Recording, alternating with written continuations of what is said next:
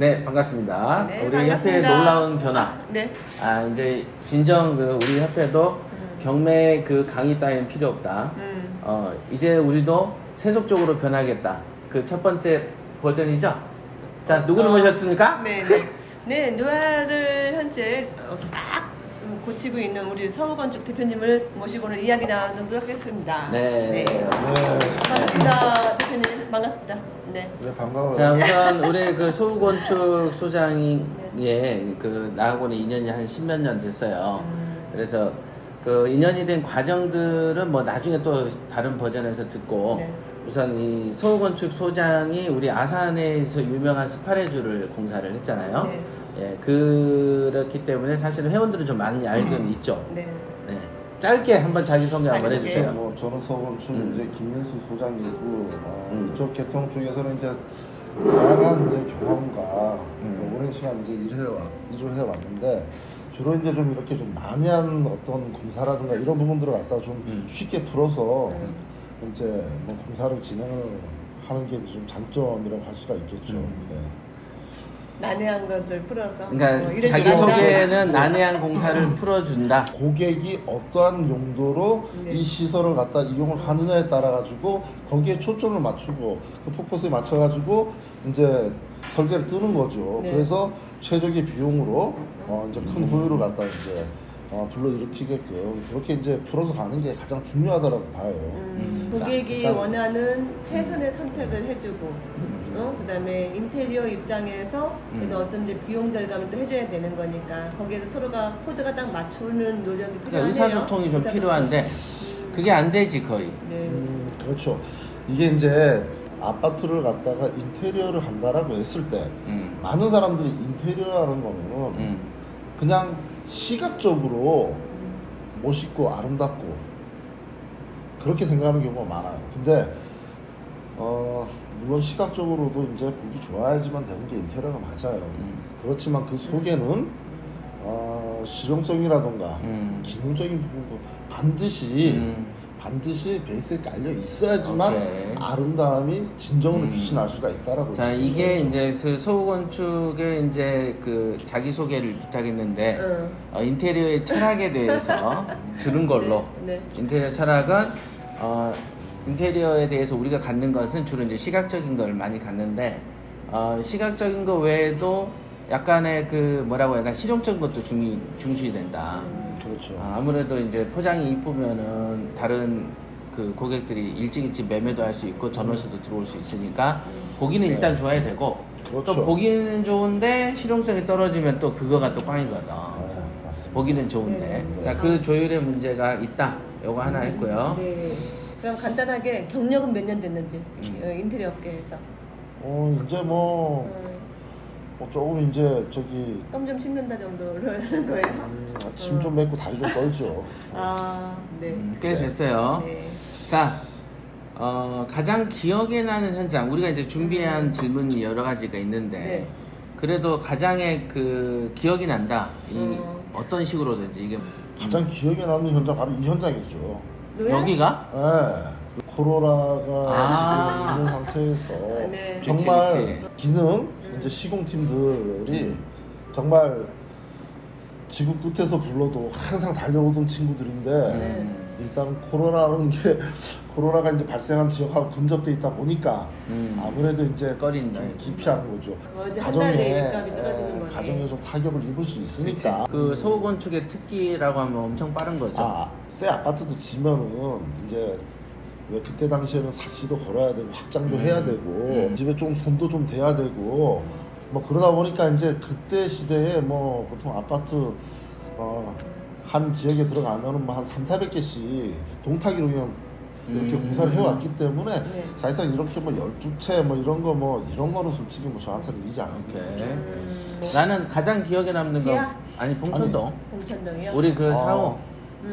200평을 보통 그, 그 당시 견적이 딴 데서 2억 4천 나왔어. 네. 2억 4천 3천. 네. 근데 한 8천인가 6천에 밀었지. 네. 그렇게 그것도 속도를 거- 엄청나게 빠르게 했어. 그게 약하게 견적을 넣으셨어요? 뭐 인맥 때문에? 그게 최대 견적이야.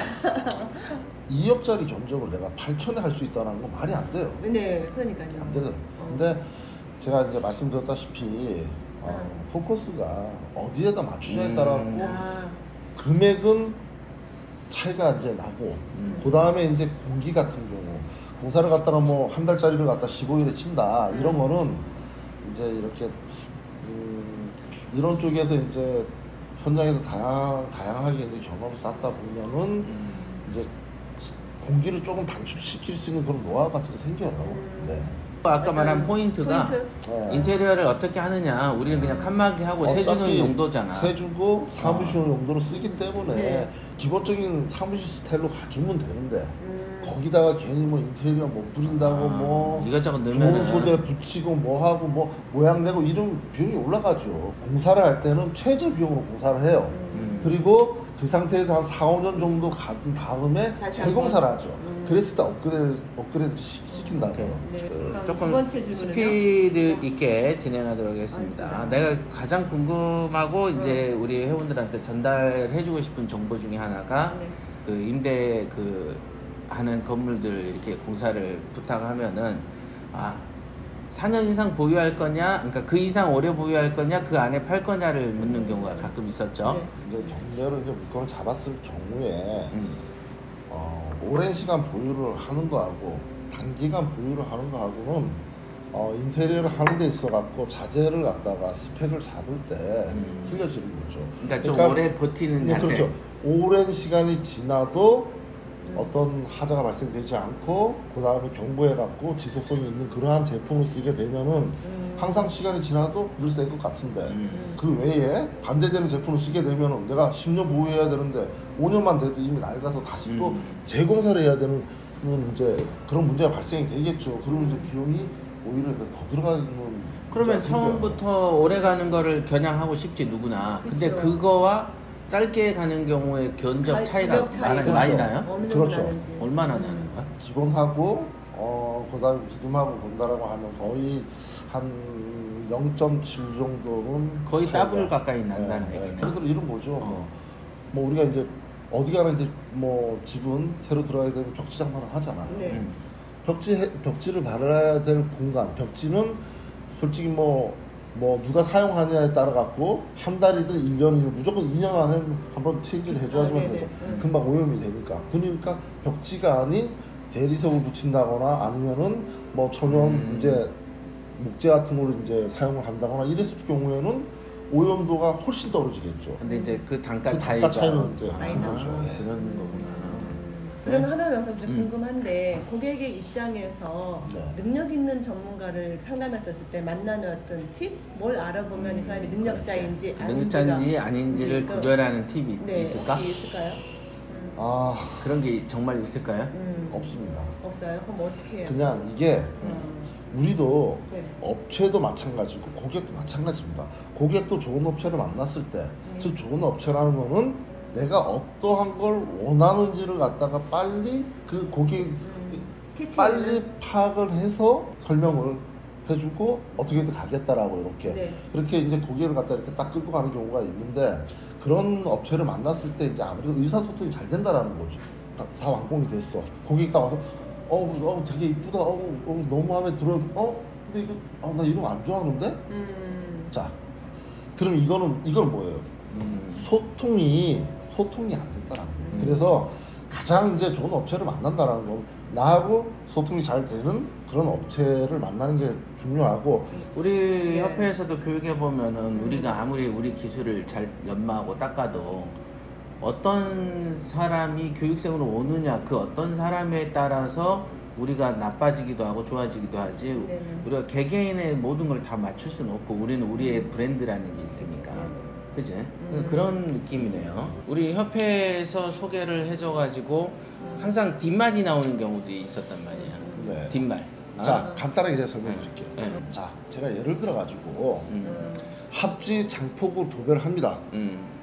자 어느 집은 자 내 내 견적이 70만 원이 나왔어. 음. 그래서 지네가 알아봤더니까 아, 50만 원이면 한다라는 거야. 음. 왠지 내가 20만 원 눈태 맞은 것 같아. 음, 네. 거의 거의 그런 식으로 생각을 하지. 자, 그 20만 원의 차이가 바로 뭐냐면은 자, 장폭 합지를 네. 시공하는 방법이 두 가지가 있어요. 음. 앞차 시공이 있고 발포 시공이 있어요. 벽이 이렇게 휘었어요. 어. 그러면 이렇게 휘었으면은 앞차기면은. 벽지를 붙이면 어떻게 돼? 이 모양대로 이렇게 붙, 붙겠죠. 음. 발포로 가면 띄운단 말이에요.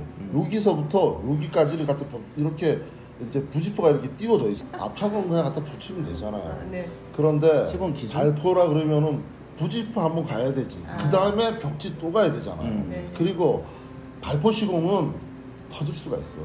바람이 들어간다. 아. 이게 이제 또 기술력을 기술력을 또, 또 요구하는 부분이기 때문에 시공을 해놨는데 바람이 들어갔고 다음날 이게 양생되면서 터진 거야. 음. 그럼 다 뜯어내고 다시. 다시 해줘야지. 예, 다 어차피. 해줘야 되는 거야. 그렇기 때문에 이제 아무래도 이제 뭐 속도를 내는 것보다는 좀 견고하고 정확하게 이제 시공을 하는 방법 음. 그러면은 선택해야지. 일반 도배를 하는 분들이 이 두 가지를 누구나 다 자유롭게 하는 거예요? 아니- 거기까지 할 줄 알아야지만 도배사 도배사지 그걸 못하면은 도배사가 아, 아, 직안 된 거예요. 또- 배우는 단계라고 보시면 네. 돼요. 알겠습니다.